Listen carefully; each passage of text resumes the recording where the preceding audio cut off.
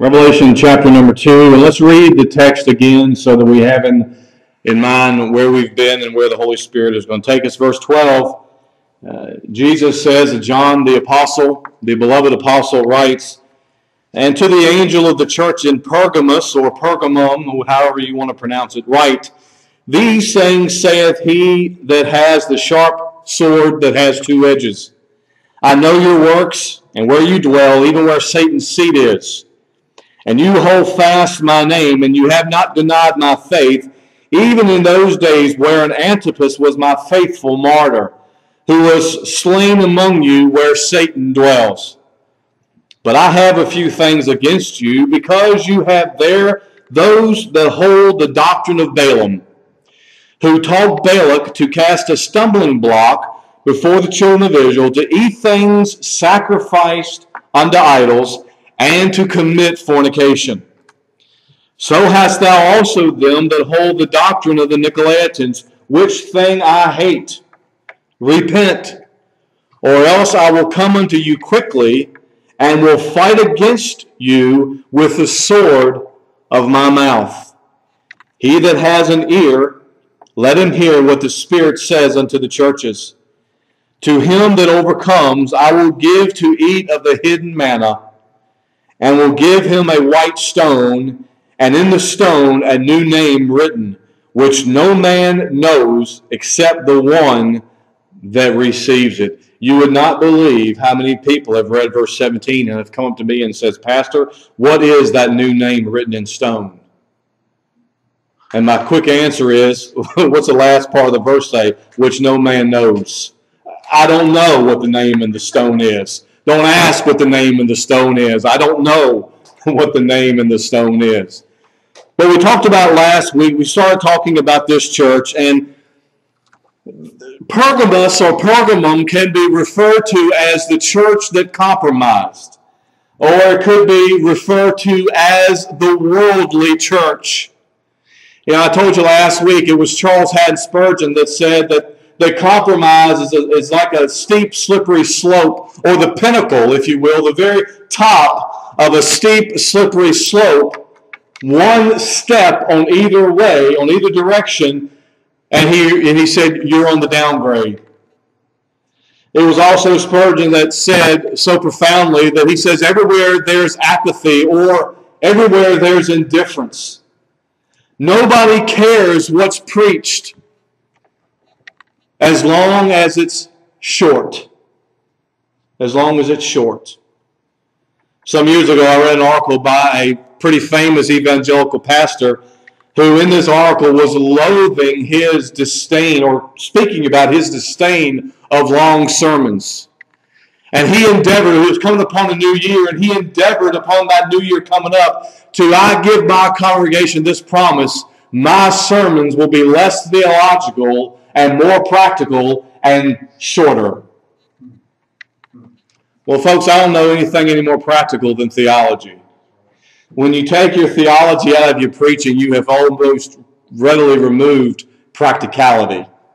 Now, oh yeah, you can take all theology and throw it to the wind and and get rid of it altogether. And you can have some sermonette for Christianettes, and you can come up with some type of uh, go around the barn to get to the front door type of application. But will it hold up to the scrutiny of Scripture?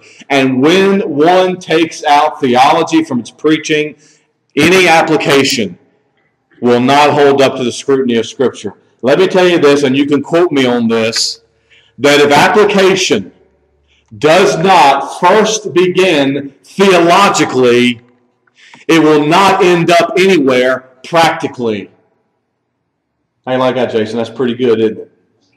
And I, that's original with me. If you read that somebody else said that, they, they listened to my YouTube video and they got it from me. Okay? If it doesn't start out theologically, then it'll go nowhere practically. Because any application that doesn't include rich, true theology isn't going to be truly applicable. It's not going to be applicable whatsoever. And so Jesus is referring and talking to a church here that is a worldly, compromising church. Now listen, it wasn't the whole church that was this way. You know, Jesus comes to the, this church and tells John to write. And we talked last week about the correspondent, what we first spoke about. And Jesus says, I'm the one that has the sword that has two edges. Now, folks, when the people of Pergamum had the pastor of that church read that to them, they had one thing and one thing in mind alone, and that would have been judgment. They understood the sword to be one thing and one thing only judgment. And so they knew that when Jesus Christ said, I'm the one that's coming to you with a sharp sword with two edges, he knew, they knew, that the Lord of the church was not coming to them with flowery words, but was coming to them in judgment. And this is the first church that we've looked at thus far where there's something negative said immediately out the gate about the church. To the first church, the Lord goes on, I'm the first and the last. He introduces himself as the first and the last. To the second church, the church of Sardis, he introduces himself as the one who was dead and is now alive. But to the church at Pergamos, he introduces himself as the one that has the sharp sword with two edges. She says, I'm the one that's coming, and I'm coming with judgment. But not everything was bad in the church of Pergamum. There was a lot of things in this church that were, in fact, good. Jesus said of this church, He says, I know your works. He says, I know where you live. He says, I know that you live where Satan's throne, literally, where Satan's throne is.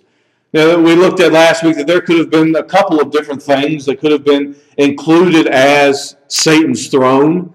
We looked at the fact that Pergamum was the capital city of Asia Minor, and so Pergamum was a most was the most beautiful city of the seven cities mentioned in this letter. But Pergamum was also the home or the hub of Caesar worship. We also saw that with the church of Sardis. But it all began in Pergamum.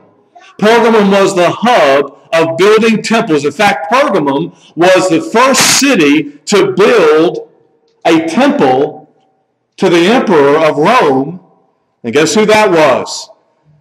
The first, the first emperor that called for the taxation of the people, the registration of the people, when Mary was great with child, that would have been Caesar Augustus.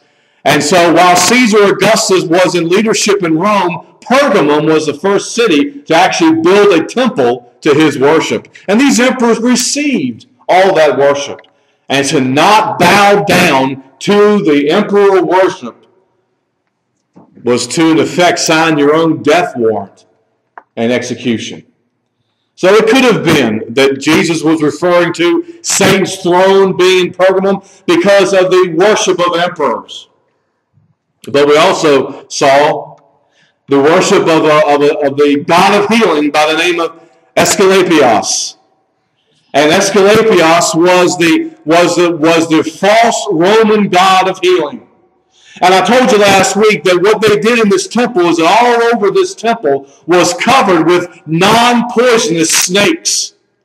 And what the person that was, was seeking the healing would do is they would go into the temple and they would lie on the floor and they would allow these snakes to crawl over top of them, symbolically being touched by the God of healing, Aesculapius, and would therefore, in their minds, receive healing. I also told you last week that every one of you have seen the false god Aesculapius as you look on the, the door of an ambulance and you see the medical symbol and you see a snake wrapped around a brazen pole. For years, Christians were told, well, that's a reference to Moses and the brazen serpent in the wilderness. That's a reference to Aesculapius. And so every one of you has seen the false god of healing. And that was part of the temple worship that had its hub in Pergamum. And so Jesus says, I know that you're living, I know that you're remaining where the throne of Satan is. I believe that there probably could be a lot of places where could be in, in our country, in our land, that could be considered Satan's throne, Satan's ground. Because keep this in mind, folks, Satan's throne is not in hell. Satan's throne is on the earth. Satan to, the, to this day understand this Satan and his demons, the ones that are not incarcerated in the bottomless pit, Satan and his demons do not, at this very moment, inhabit hell. They inhabit the earth. Hell is a place of Satan's incarceration. The earth is a place of Satan's domination. And so this earth, this world, is in fact where Satan's throne is. And he goes on, he says in, in verse 13, by a quick way of introduction, I know that you hold fast my name. Not everything in Pergamum was bad. There were there was a remnant. Isn't that good? God always has his remnant. God always, down through the ages, even when everyone else defects, God seemingly always has his people that maintain his name, that do not defile his name, and do not defile his faith. He says, I know that you dwell where Satan sees, and he says, I know that you've held fast my name. I know that you haven't denied my faith. Look what he says in verse 13. Even in those days where Antipas was my faithful martyr who was slain among you. It is believed that Antipas at this time was the pastor of the church at Pergamum. And his, history tells us that, that Antipas was basically boiled alive in a brass bowl full of hot coals because he would not deny the faith. He would not bow the knee to Augustus. He would not bow the knee to Asclepius. He would not bow the knee to Zeus. He would only bow the knee to the Lord Jesus Christ of the church, and for that, it cost him his life. So not everything in the church of Pergamum was bad. And you know, I like to read history. I, I, I didn't major in history in college. I, of course, I majored in theology and minored in Greek and, and music. But I could see myself majoring in history because I like history. I, I like reading history. I, some history. Now, I had a boring, Brother Blue, I had an absolutely boring world history teacher in college. And, uh, you know, it was just dry. Um, and so, I mean, when you can mess up history for me, you've really done something. You're a really bad teacher if you can mess up history for me. Uh, those of you who don't like history, uh, I don't know how many of you like history, or one of you, some of you say I hate history. I love history, and the old adage says that if you don't understand history, you're doomed to repeat it. There's a lot of truth to that. A lot of truth to that. And so I've always enjoyed history, and I always enjoy reading about uh, the martyrs. I enjoy reading the church fathers. I, I enjoy reading about Polycarp, uh, the early church father, when he was when he was commanded to deny his faith, and he stood hands uh, he stood ready to face the, the flames and said to those who were going to execute him, "For eighty and six years, my God has never done me wrong. How could I refuse His name now?" And I just read that stuff, and, it, and it's just, I'm overwhelmed with encouragement as I read these guys. And I can only silently pray and say, and say in my heart, Dear God, I pray that if I live long enough, that I am given a choice of my life or my faith, that there would be no question. Take my life. It's not mine anyway. It belongs to another. You know, and we can and we can stand here and we can say that pretty boldly when we don't face the, the firing squad or we're not facing the flames. I can only pray that if there ever comes a time when I do face the flames for my faith, that I can be like Polycarp and I can be like Martin Luther and I can be like John Calvin, and I can be like Zwingli, and I can be like Whitefield, and I can be like Edwards, and I can be like William Carey, and I can say, Do what you will with my life. It belongs to another, but I will never deny my Christ. And that's what Antipas did. And so Jesus says of this church that even in the days where Antipas was my faithful martyr, you did not deny the faith, and you held fast my name. What a privilege to be said by the Lord Jesus Christ to a church, you held fast my name. You did not deny my faith. But unfortunately, not everything was rosy in Pergamum. Not everything was good. And yeah, there was a remnant. But everything was not good because then we come to the fourth point, I believe we are in our outline, the, correspondent, the city, the church, the commendation, and now we're at the concern. Because there was a group of people in the church at Pergamum that there was some problems. Jesus says in verse 14, He says, But I have a few things against you because you have those there that hold the doctrine of Balaam, who taught Balak to cast a stumbling block before the children of Israel, to eat things sacrificed unto idols, and to commit fornication. Even though it is true that the church at Pergamum held fast the name of Jesus Christ, and that they did not deny the faith of Christ even in the face of death, it is true that not all was well with this church. And what that teaches us, folks, is that doctrinal impurity, if we're not careful, doctrinal impurity can, can harbor itself in a church. And any church at one at any time can be guilty of harboring the grossest of sins by harboring impure doctrine in the church. Now, let me say to you this, folks, that in Emmanuel Baptist Church, your two pastors are dead serious about pure doctrine. So much to the fact that we had a friend stand in this pulpit and at one time, unbeknownst to us, say something that was doctrinally wrong. And we went to that friend and said, You say it again, we'll interrupt you and remove you from the pulpit. That's how serious we take doctrinal purity. Now, I'm not his friend on Facebook anymore, but that's how serious we take doctrinal purity, folks. Because we understand, by the grace of God, we understand that the tiniest bit of impure doctrine that enters a church in any means possible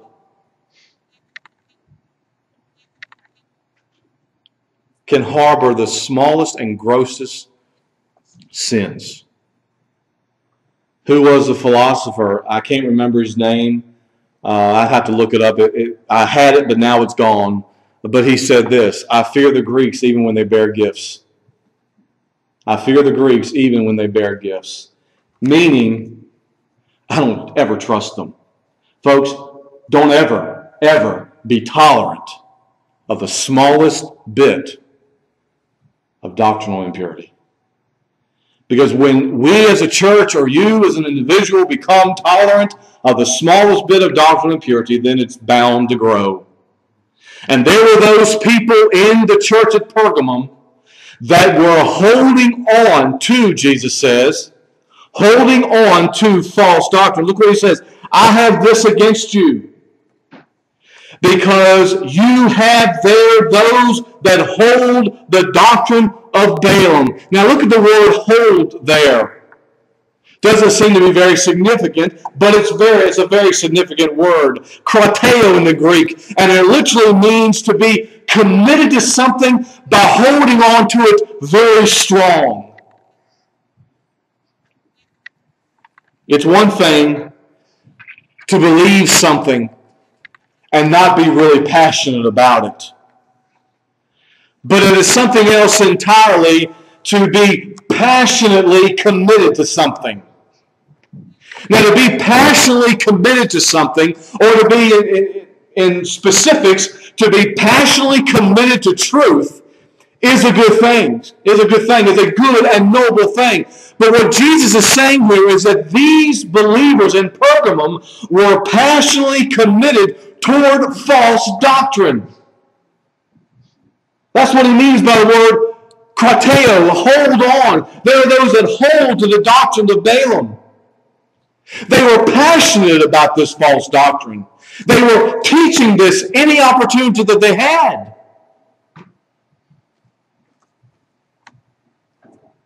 And please note Isn't it interesting that Jesus says that even though the church is said to be passionate about false doctrine, how he could even say anything commendable about the church? Oh, there were some there, like I've said, that were holding on to truth, but there was a growing number of people in the church that some way, somehow, were being were associated with the church that were bringing false doctrine into the church. There were a growing number of people within the church at Pergamum that were on the, the doctrinal downgrade. There were some holding to the truth of the Lord, and that does not go unrecognized. That's why the Lord gave the commendation. But there are those people, folks, in the church at Pergamum that were tolerating false doctrine. They were tolerating error being taught and not confronting people about it. Folks, listen very clearly. The, the scriptures are very clear how the church should handle people bringing false doctrine into the church. In Titus chapter 3, the Apostle Paul says there, Titus chapter 3, verses 10 and 11, a man that is a heretic. That's a man that teaches false doctrine. That's a woman that teaches false doctrine. Jesus doesn't overlook that. Jesus doesn't wink at it and say, well, it'll be okay, or say, well, there's enough truth there, it'll weed out the false. Jesus says, no, they're, they're a heretic. When a man is a heretic after the first and second admonition, rejecting. That's pretty clear, isn't it? When you have a person that comes into the church and teaches a false doctrine, you approach them and you admonish them with the truth, and if they refuse to believe and receive the truth, Jesus, Paul said to Titus, reject that person. Titus, of course, being a pastor himself, Paul says, reject that person, knowing that he that is such is subverted and sins, being condemned of himself. Folks, this is not something that I'm just getting up here spitting about. This is something that is pervasive in the church because, like the church at Pergamum, we have a whole slew of evangelical churches in America that refuse to practice church discipline as noted in Matthew 18 15 to 18. By the way, also keep in mind that the Lord Jesus Christ takes the purity of the church so serious, even to name people by name that are guilty of doctrinal heresy. Over the years, I have been, I don't know what word really to use to describe it, but I have been questioned about my use of using people's names in the pulpit that teach false doctrine. And I've been asked over the years, and maybe you've wondered and never asked. I'm glad you asked.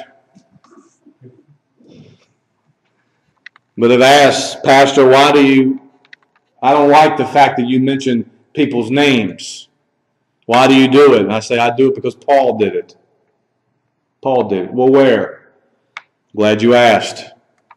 1 Timothy chapter 1 and verse 20, Paul mentions two people by name, Hymenaeus and Alexander, who were in doctrinal error in the church. And Paul says so much to the fact that I have delivered them unto Satan, that they may learn not to blaspheme.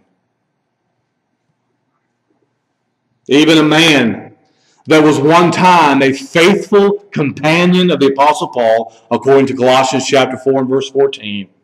He called out as a deserter of the faith and a lover of the world. In 2 Timothy chapter 4 and verse 10, he says, For Demas has forsaken me, having loved this present world.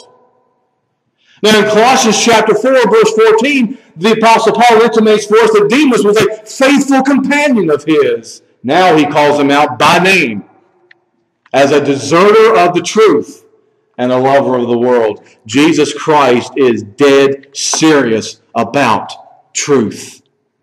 In the church. I received uh, this week by way of uh, email three videos, and uh, for those of you who get involved in social media at all, you can go to my Facebook page and you can watch these videos. Uh, I received a few of these videos this week uh, from a friend in uh, Arizona um, who was featuring our good friend Rick Warren, pastor of Saddleback Community Church, a proclaiming Southern Baptist, the author of 40 Days of Purpose, The Purpose Driven Life, The Purpose Driven Church, in which he said in that book, I can bring anybody to faith in Christ if I find their felt needs.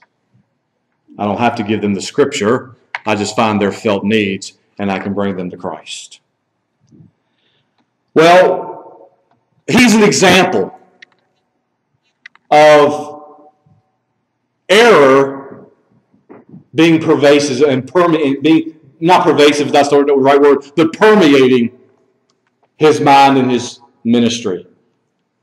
In these three videos that, that I received this week, uh, Rick Warren had a sit down personal interview with the church at Rome. He went to Rome and he sat down with, with, a, with a representative uh, of the Roman Catholic Church and did an interview about uh, the Pope, Pope uh, Benedict um, and, uh, and other things regarding the church.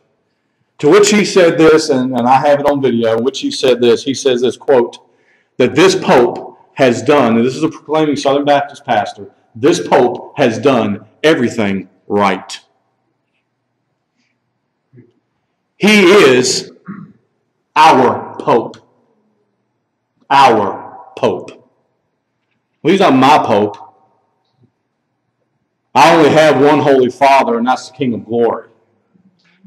And when a man receives a title of Holy Father, which is a title that only is reserved for God Almighty, there's a problem. And I'm certainly not going to get on television, and I'm certainly not going to say from the pulpit that he is my Pope and that he has done everything right. And he applauded the fact, he's in Orange County, California, he applauded the fact that right after Pope Benedict took over as Pope, that there was an article in the paper and the headlines read, If you like Pope Benedict, you will love Jesus.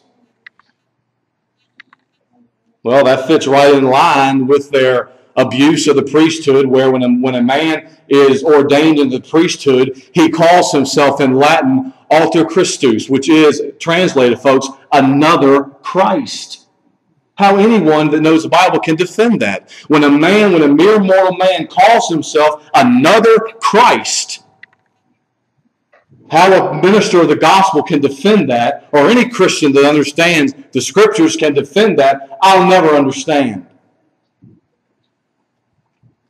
And that's an example, folks, of how doctrinal impurity starts seemingly small and just grows and grows and grows and grows. Now, I'm not telling you that, that Rick Warren is not a converted man. I don't know his heart. But I can tell you that if he receives the teachings of Rome, he receives a lie. And that's how false doctrine permeates the church. Now, the Lord in this passage is primarily concerned about two heresies that are being tolerated by the people in Pergamum. One has to do with an Old Testament character, and the other has to do with a New Testament character. He says, first of all, he says there in verse number 14, that you have those that are holding on to the doctrine of Balaam. And of course, Balaam was an Old Testament prophet for hire. Balaam was a, was a prophet, a false prophet, and he basically went along with whoever had the highest price. And you can find the account of Balaam in Numbers chapter 22 through 25. Here's what's going on. Fearful of the Israelites because of what they had just uh, done to the Amorites, Balak, the king of Moab, hired Balaam to curse Israel. And you know what happened in the story. It's an, it's an amazing illustration of the absolute sovereignty of God. That every time Balaam opened his mouth to curse Israel, a blessing came out. And Balaam was like, man, I didn't get my money's worth here. What's wrong with this dude? And so after three unsuccessful attempts to curse Israel, Balaam came up with another plan. He says, listen there, kingy, since I can't curse them, I'll corrupt them. I'll corrupt them. If I can't do it from the outside in, then we'll go inside and we'll do it on the inside. And Jesus says here in verse 14, you have those there that hold the doctrine of Balaam who taught Balak to cast a stumbling block before the children of Israel.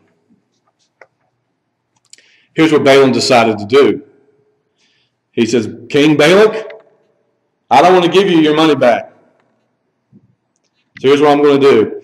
He says, every time I open my mouth, blessings just come out. And I can't do anything about that. But here's what I'll do I'll introduce the men of Israel to the women of Moab. They'll marry these idol they'll, they'll meet rather these idolatrous Moabitish women. They'll marry them. They'll have children with them. And you've got your corrupted Israel.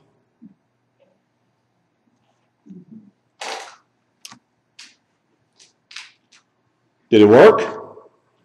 Pretty good. Pretty good.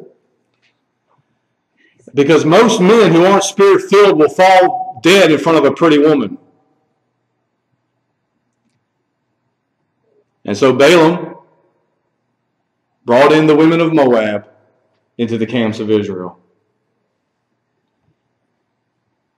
It debased the people of Israel and destroyed their spiritual power. Now, Balaam's plan exceeded, but not to the extent that he had hoped. Because what God did is that God intervened. He chastened Israel severely, executing 24,000 Israelites.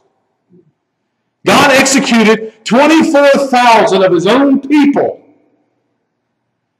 because of immorality and idolatry. And folks, listen to me if Jesus Christ, if God will, will execute 24,000 of his own people, do you think by any stretch of the imagination that in Revelation chapter 2, when he tells Pergamum that if you don't repent, I'm going to make war with you, do you think he's serious? And I think Jesus is serious to us.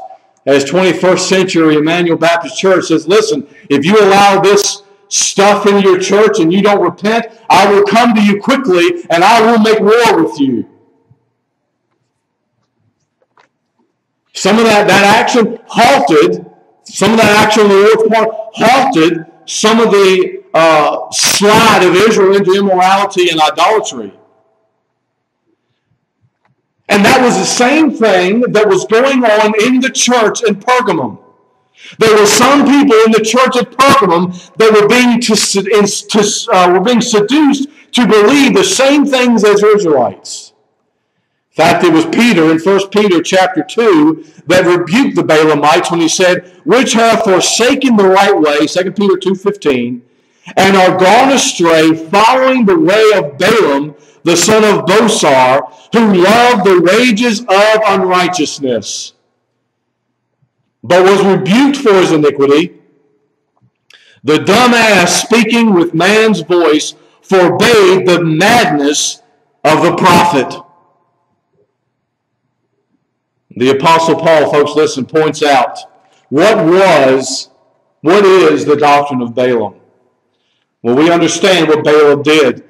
How does that relate to actual, what is the doctrine of Balaam? The doctrine of Balaam is basically this, folks, is the doctrine in the church that teaches that it is okay as a Christian to be mingled with the world. That's what the doctrine of Balaam is. It's okay to be a Christian and at the same time love the things of the world. I had a very good friend. I'm not going to tell you his name because many of you would know him. But I had a very good friend who was a very successful uh, business owner.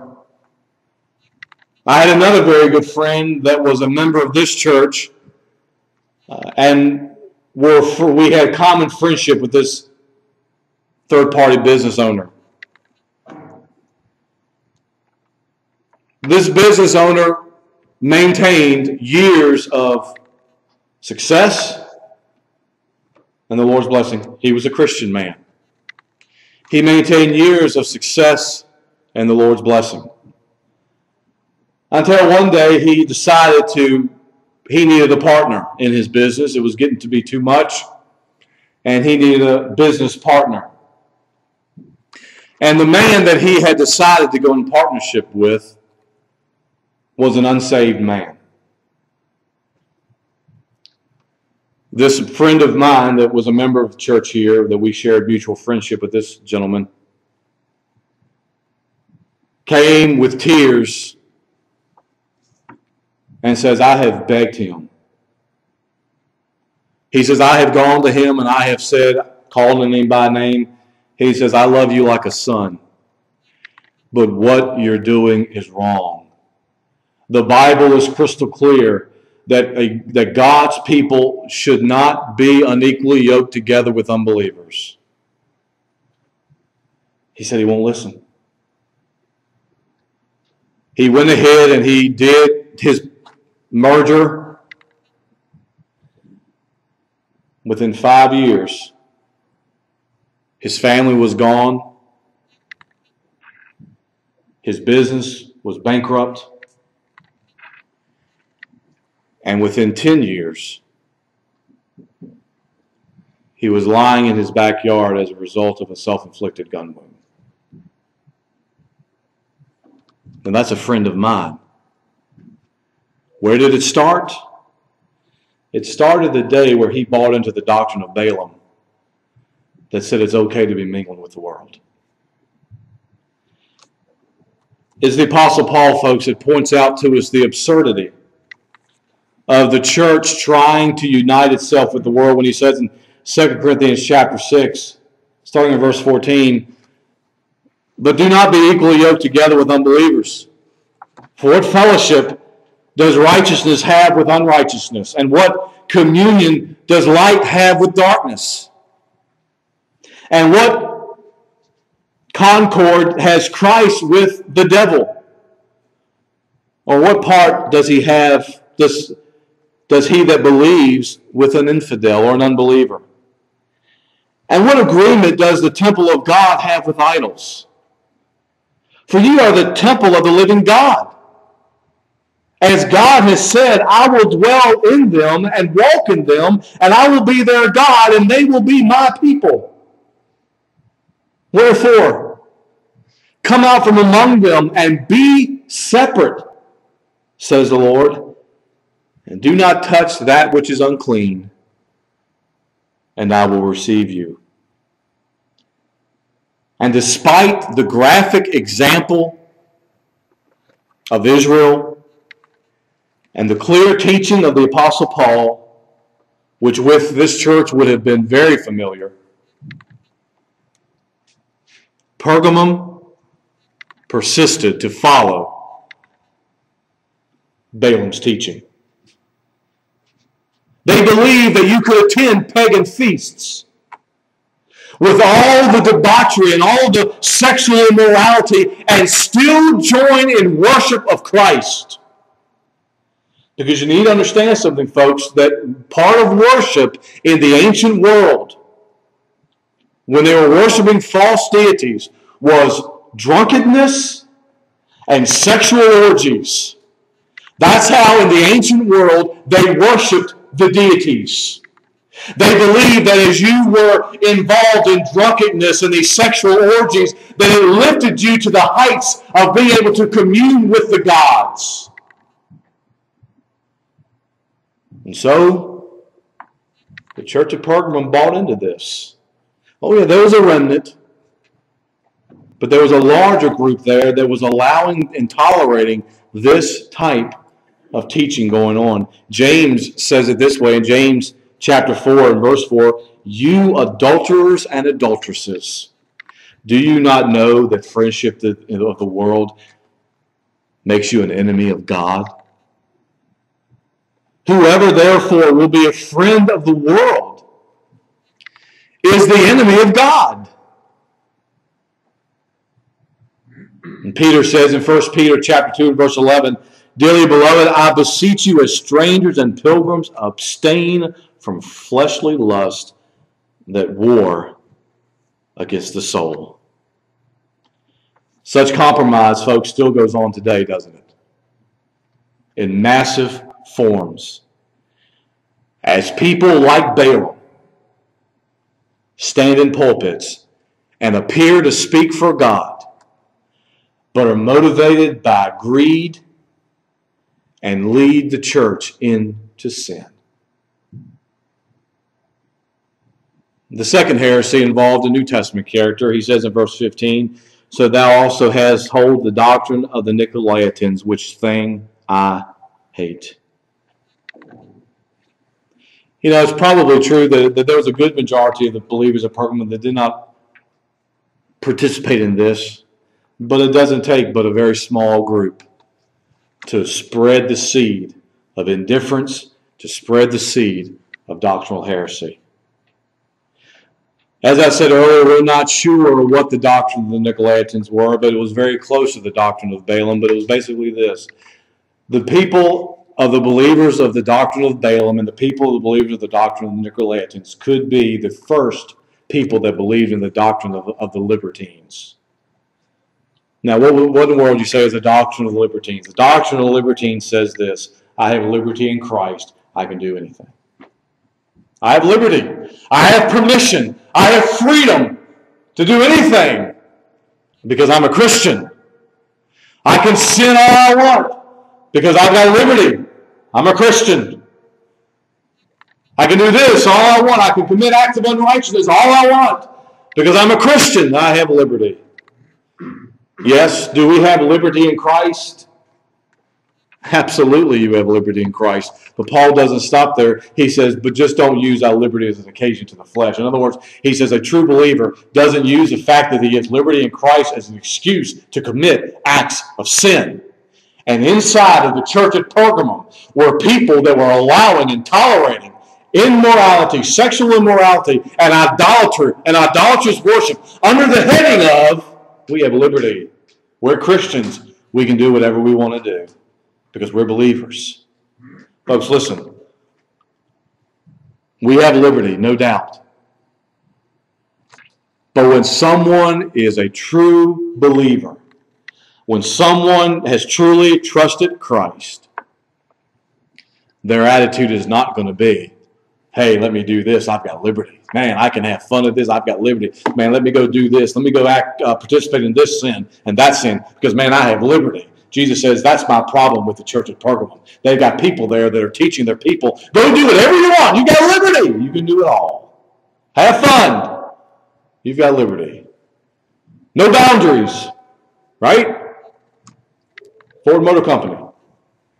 No rules. Outback. Right? That's the doctrine of the Nicolaitans. That's the doctrine of Balaam. And Jesus Christ says, though you've got so many things going for you, this is a problem. You are tolerating in your church a doctrine that teaches that sexual immorality is okay, that idolatrous worship is okay, that being communed with the world is okay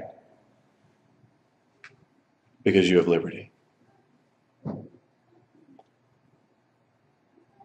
I have another friend